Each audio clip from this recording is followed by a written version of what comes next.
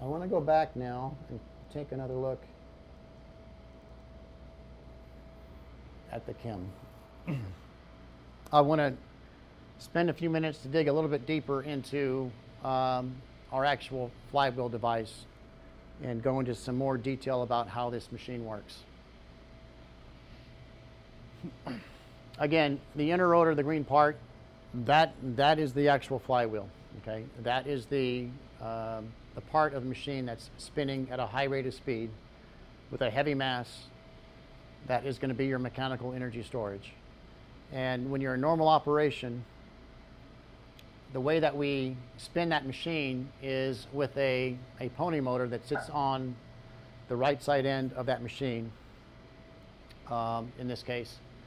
So we actually will uh, control this pony motor with a, a, variable frequency drive, which is in our USP panel. Uh, we'll go into the, all the panels here in, in a few uh, follow-up presentations. But uh, the USP panel contains a, variable uh, speed drive, frequency drive, that is going to uh, source into this pony motor.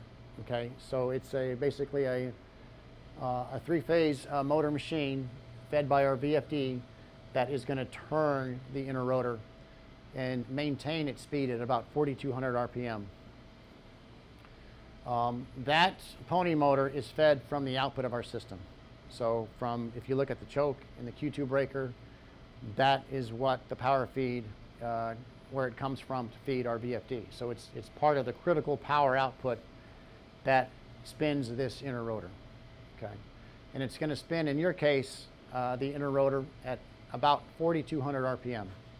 You'll actually see on the uh, UCP there's a readout for your uh, inner rotor speed.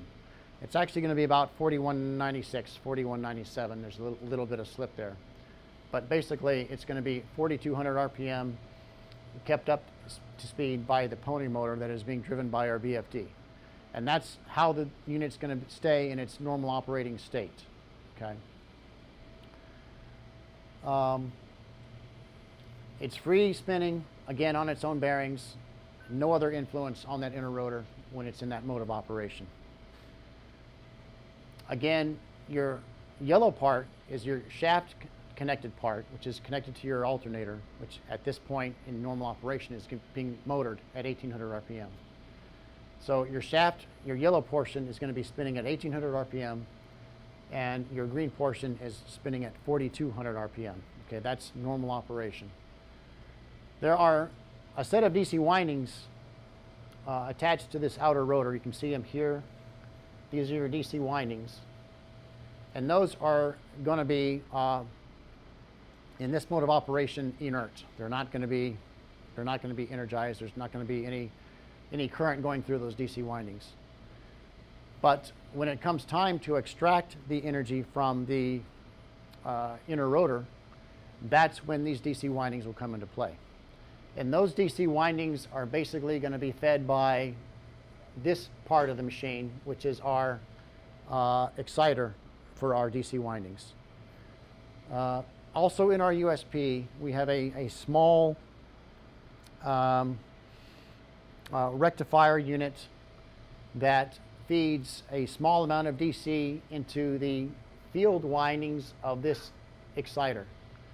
And then through a, uh, a process of rectification within this exciter, it will then send DC current into these DC windings of the outer rotor. So it's, it works much like uh, uh, a regular uh, exciter would on an, on an alternator, where you have an initial DC source that just feeds uh, excitation field windings, and that is then used to generate uh, or magnify into a DC current that flows from the exciter into these DC windings. Okay. Now, when we want to extract the energy from the inner rotor of this of this uh, KEM device, um, it's going to happen uh, through a process of, of doing two things at once, basically when we are ready to extract the, the energy, in other words, we've disconnected from utility, we've opened the Q1 breaker, we've started the diesel, it's, it's coming up to speed. The third part of that equation was energizing DC windings. But when we energize the DC windings, first we're going to stop the, the pony motor. Okay, we don't want to have the pony motor have to act or fight against extracting the energy from the inner rotor. So the pony motor is going to be told to stop. And then at the same time, we're going to energize those DC windings through our exciter machine. And what happens when you basically start putting current through these DC windings is it's going to generate that magnetic field that's going to magnetically grab on to the, um, the flywheel portion or the green portion or the inner rotor of that, of that machine. So you can imagine this very heavy mass, this green mass spinning at a high rate of speed, all of a sudden being acted upon by a, a magnet that's being all of a sudden created through the energization of these DC windings. So basically, a north and south pole grabbing onto an inner rotor magnetically, and that inner rotor is now going to want to magnetically grab on and it's going to want to turn that outer rotor as a, as a prime mover. Okay? And there's going to be a lot of slip there, uh, obviously, because you don't want it to hard grab onto that inner rotor because that inner rotor is spinning at 4,200 RPM. And if you hard grabbed onto it, you would probably break the shaft, right? Um, but it's going to be kind of a gradual grabbing on of that inner rotor to the outer rotor magnetically, and that inner rotor is going to start then turning the outer rotor, serving as a, as a prime mover, so to speak, maintaining the outer rotor at 1800 RPM. Okay. Now, initially, uh, the grab of DC is going to be at a, at a certain level. Okay. Uh, the amount of current needed to energize these windings to develop that magnetic field to grab on is going to be at a, at a certain level initially. But as you extract energy from the inner rotor, the green parts, um, to maintain the shaft speed of 1800 RPM, it's, it's going to start to slow down. That inner rotor is going to start to, give up some of its speed and slow down. Well, if the inner rotor is slowing down uh, as it's trying to turn the outer rotor, what keeps the outer rotor from slowing down as well?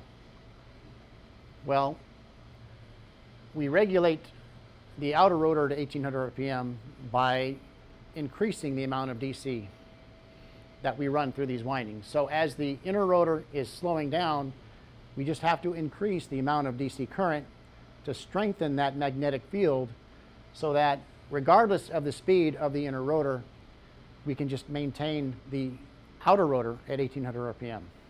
How So long it- will it take for them both to get to eighteen hundred RPMs? Um, well, first of all, you never want them both to get to 1800 RPM. Because if that happens, it means you That would be the end of, now you end of generation. you have no more energy. You can't you can't transfer energy anymore. So you the inner rotor always has to be above 1800 RPM to be able to transfer its energy to the outer rotor. Um, so it's never going to get to 1800 RPM um, unless you shut the machine down, of course. How long can it live off, forty-two hundred RPM? It's basically, um, we go by the output specification. So if we want the output to stay within 1.5% of 60 hertz, which is our output specification, then the answer is how long does it take before the frequency falls below that 1.5% set point, right? And um, remember that when the diesel comes up to speed, it clutches in in around two or three seconds, and then it starts to, to provide power, and then it's sharing with the with the KEM a little bit until the turbos kick in on the diesel, and then the KEM is, is done. Um, if the diesel were not there, if it if it had to be just the KEM piece um, to uh, provide for full load, um, it would uh, at the rating of your system, it would probably last about six to seven seconds. Okay, so after about six to seven seconds, you would fall outside of that 1.5%. Okay. Um, and we've actually run tests at the factory where we've done that, you know, to see exactly how much energy is available, you know, for our KEMs. But that's what it turns out to be. Now that's at full load. If you're at half load, then you don't you know, you can last a lot longer Right. because it's it's a it's an energy time relationship. Um, if you're at half load, you might last up to 10, 12 seconds, and it, it, it typically follows more of a linear type of type of arrangement there. But yeah, I would say anywhere from six to seven seconds at full load, if the diesel, you know, isn't running.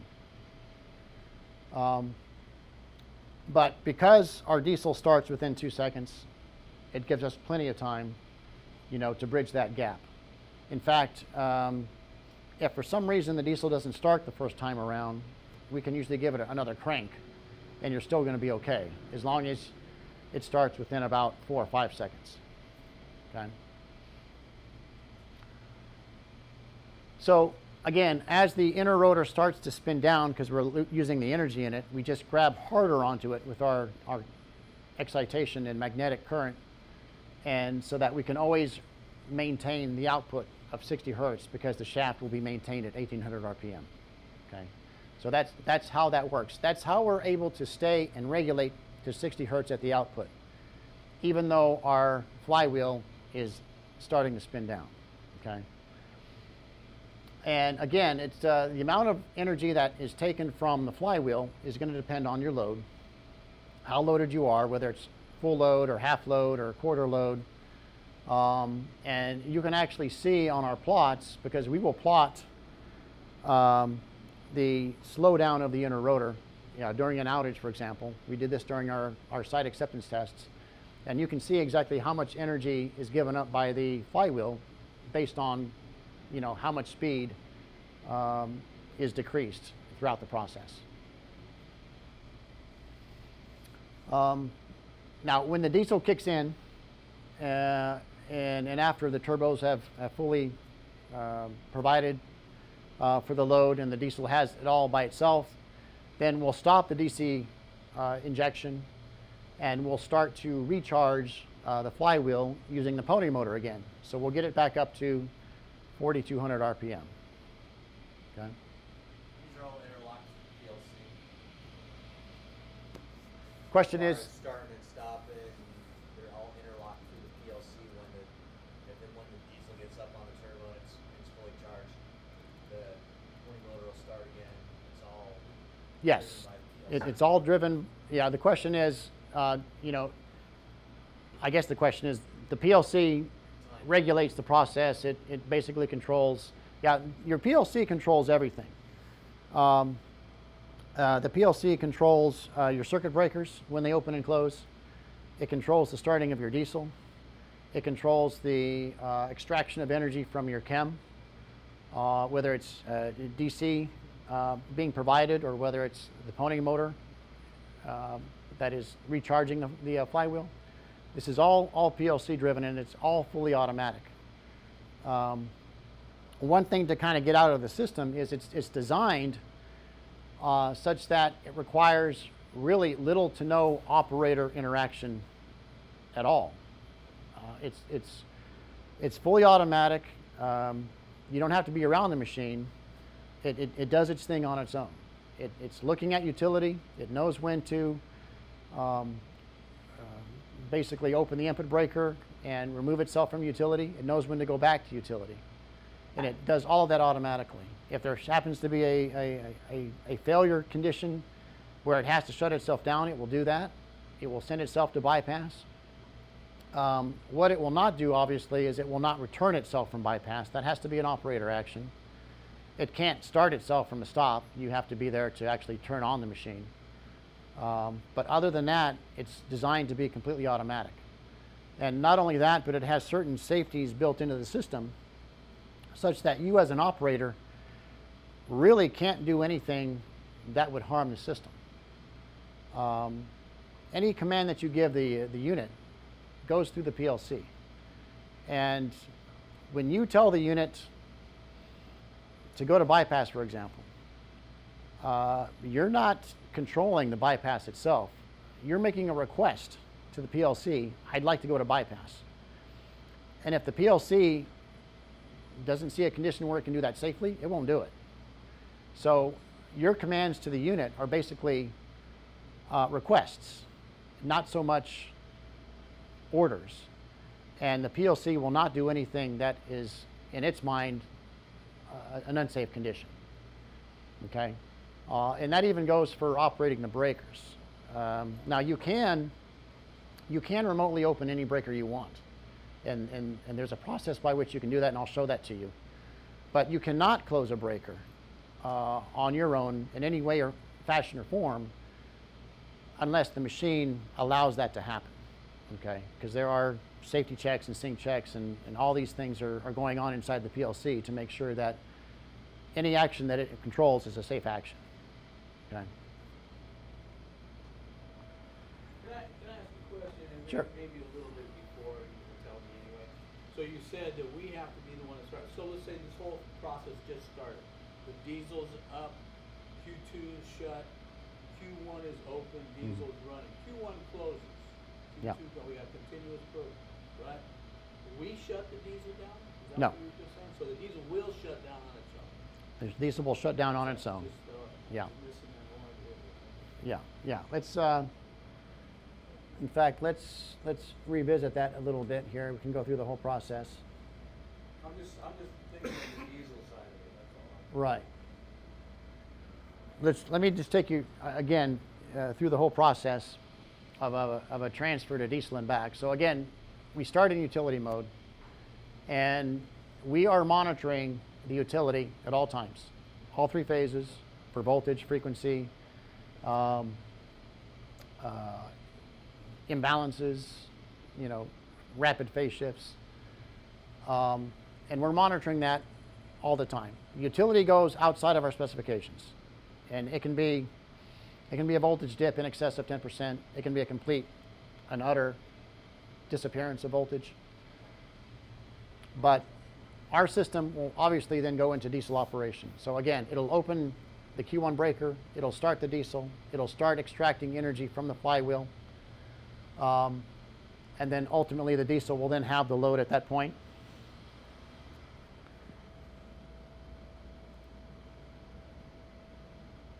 And now you're operating in, in basically a genset mode or what we call uh, sometimes emergency mode. But your input breaker's open, your diesel is running, it's now providing all your power, your flywheel is back up and charged again, and we're still continuing to monitor the utility. So when the utility comes back within our specifications, and there's a bit of a hysteresis there, you know, for example, let's say rejection of voltage on the utility side is plus or minus 10%. To reaccept the utility, we have to be within plus or minus 8%, for example. So there's a little hysteresis there, okay? But when the utility comes back and we see it, and it is within our acceptance criteria, then we're going to start the process of going back to the utility. And this is fully automatic uh, as well. Now, we're not going to go back to utility right away, okay? And there's a couple reasons why. Um, and this gets into what we call our mains acceptance time, okay? We don't want to come back to a utility that's not stable. So let's say you have an outage. Um, typically, outages don't last all that long. You know, it might even be a couple seconds at, at most. But the utility comes back after two seconds. We're not going to go back to utility right away because we don't know if the utility is stable yet. It might be coming in and out. And we don't want to go back to a utility that's just going to be rejected again. So we have what's called our mains acceptance time. And for your unit, it's in about 15 to 20 minutes. So we have to see utility come back within our acceptance criteria, and we have to see it be stable for about 15 or 20 minutes. And only when we know that it's stable are we going to go back to it. Now, there's another reason why that MAT uh, number is a good thing as well. Um, not just because it lets us know utility is stable, but also we might need some time to recharge our induction coupling fully. Because if you were at full load and you had a transition to diesel, um, we might have used all of the energy or all of the usable energy in our KEM. So before we go back to utility, we want to make sure we have a nice fully charged flywheel again. Because if we went to utility too quickly and then we had another outage, we wouldn't have enough energy in our KEM to withstand that second transition. So the MAT is not just to ensure we have a stable utility, but it's also to make sure that all the energy that, we, that was depleted from our flywheel gets reinserted or recharged. And we know that it takes about 15 minutes or so to go from a depleted state to a fully charged state on our flywheel. You know, it takes about 15 minutes to get from, you know, 2200 RPM to 4200 RPM, for example. Okay. So the MAT time is something that you have to wait through even when utility comes back.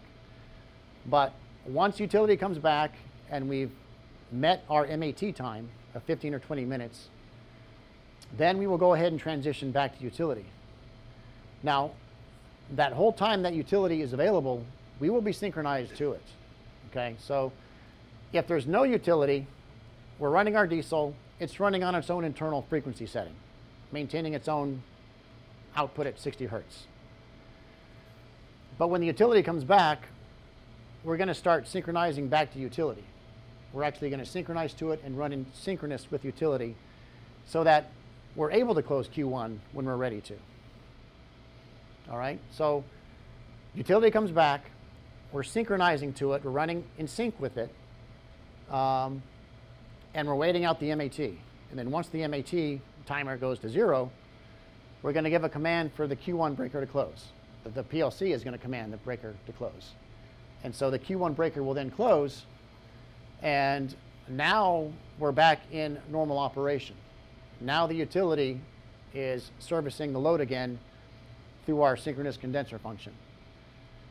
Our, our, our clutch here will then disengage because So you get a command for fuel to stop to the diesel. Not right away, but what we will do is we'll tell the diesel to go to idle speed. Okay. So as soon as, yeah. Right. As soon as the Q1 breaker closes, we're going to command our diesel to drop to 1750 RPM. That will disengage the clutch because now our diesel is running slower than our alternator, which means the clutch will disengage. And then we're going to run the diesel at idle speed for another three minutes or so. That's just for cool down. So cool down. Right. And then, and then, then a command to stop. Correct. Right. And then it'll it'll tell the diesel to stop and the diesel will come to a stop and it'll be ready for its next start. Okay? Now, the way that we actually tell the diesel to stop is we take away the ignition. Okay? Normally, the ignition is always applied to the diesel when it's in a state of standby. And there are other things that we do to, to the diesel to make sure, to ensure that it's going to start properly when it needs to. Uh, one thing we're doing is we're constantly preheating the diesel. There's a, there's a preheat on the front end of the engine that uh, maintains the, the water temperature uh, in the diesel to a certain temperature to, to maintain heat in the engine. So we keep it preheated. We also have a pre-lube pump on the diesel that we run uh, on a cycle to make sure that the uh, diesel is always lubricated. And um, if you haven't already, you'll, you'll hear this pump. It's, it's pretty loud. Ever so often it'll come on and run. It's, it's a loud pump. It's just forcing some lubrication through the diesel to keep it lubricated. So we keep the diesel preheated. We keep it pre-lubricated so that when we do want it to start, it starts very quickly. That's a part of the process of getting it to start quickly. Does that lube the turbos as well then? Does the lubrication go through? Does it tie into the turbo? No, it does not. With our turbos, we have to pre-lube it. No. I, I don't believe the pre-lube system ties into the turbos. I don't believe so. I could be wrong, but I don't, I don't think so. Um, so, again, the ignition signal is always applied for the diesel, and all it's waiting for is for the start motors to start spinning the flywheel, to start it up, fire it up, and get it up to speed in about two or three seconds. Uh, when we want to stop the diesel, though, we just we take away the ignition signal briefly. Taking away the ignition will stop the diesel, and once it's stopped, then we reapply ignition to get it ready for the next start. Okay. But really, the only thing that we need to do to start the diesel is just get those start motors active to turn the flywheel. Okay. Um,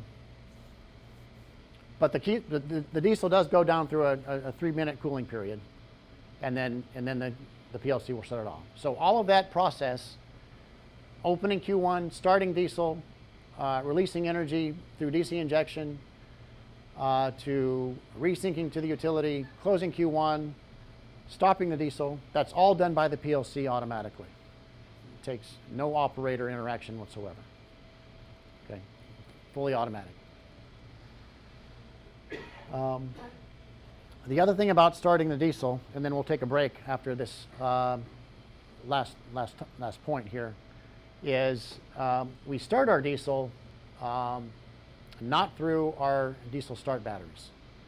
Now we do have diesel start batteries, but they're basically there for a first start operation. In other words, when there is when the machine is completely down and not generating any power, we will start the machine first by starting the diesel to get power generated to kick off the system.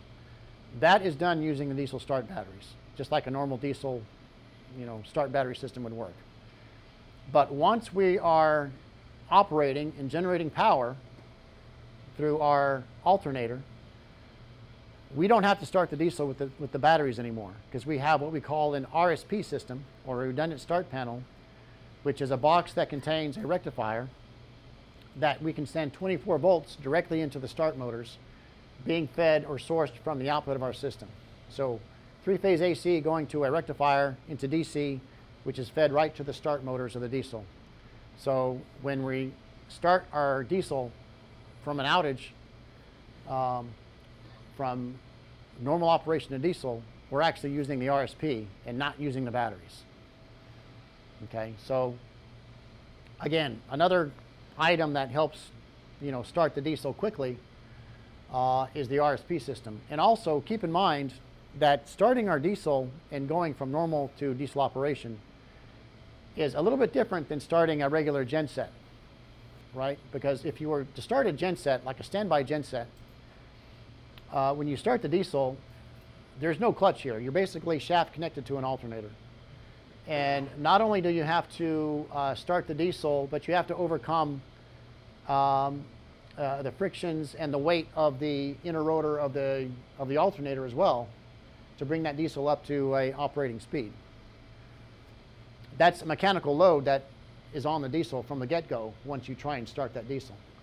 With our diesel, because we're already spinning the shaft and we're not coupled via this uh, clutch that's not engaged, we have no mechanical load on the diesel whatsoever when we start it. So it doesn't have to overcome the weight of the shaft or the inner rotor of the alternator to start the diesel to get it up to 1800 RPM. So another reason why it comes up so quickly is because there's, there's no mechanical load on it whatsoever. So all those things combined, preheating, pre-lubing, we're not mechanically connected here. We've got an RSP system. That all brings that diesel up from zero to 1800 very, very quickly. Um, therefore, you know, we only have to a couple seconds worth of being on flywheel during the transition. Okay. A lot of people that aren't familiar with our system can't believe the diesel starts that quickly. And then we show it to them. And it's, uh, That but sounded pretty quick to me. Yeah. When you first said that, but it makes sense now. Yeah. Now we can only use certain engines. We, uh, we use Cummins. Um, we used to use MTU, but now they belong to our competitor, so we don't use MTU anymore. But um, we use Cummins, we use Mitsubishi, uh, and we can use those engines because they are also inherently quick starting. We cannot use CAT engines because the flywheel is way too heavy and, and they start too slowly. So we don't use CAT engines, but we specifically tune our, our engines that we do use, you know, for quick starting.